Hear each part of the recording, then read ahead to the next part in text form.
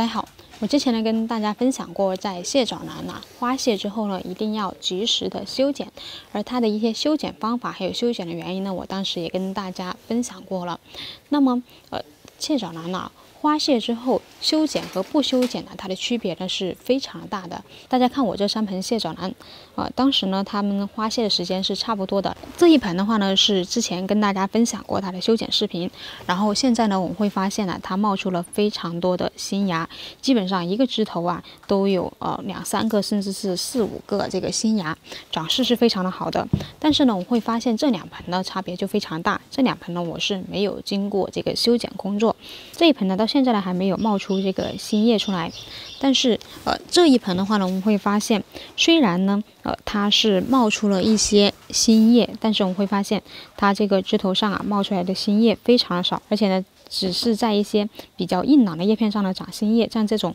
呃，叶片相对有点发软的叶片的话呢都没有长新叶。而我们会发现，它底部这个叶片比较硬朗的话呢，底部的这个新叶长得非常的壮，而且我们会发现底部这个比较硬朗的叶片也长出了这个新芽，而且新芽特别的壮，相比较呃上面的这些新芽来说呢壮很多。像这三盆的话呢，其实我的养护方法呀。都是一样的，我都是给它在花谢之后一个星期之后再来给它用肥。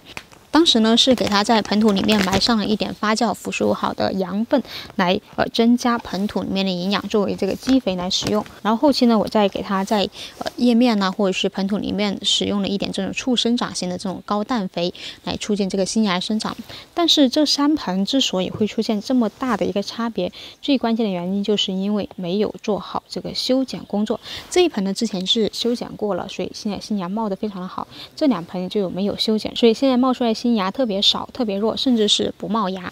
所以啊，蟹爪兰啊，花后修剪呢是非常有必要的。而它的修剪呢，就是一定要把呃残花还有残花底部的一些发软的叶片给剪掉，然后留下一些相对比较硬朗的叶片，这样后期它的长势才会更好。好啦，今天就分享到这里，我们下期再见。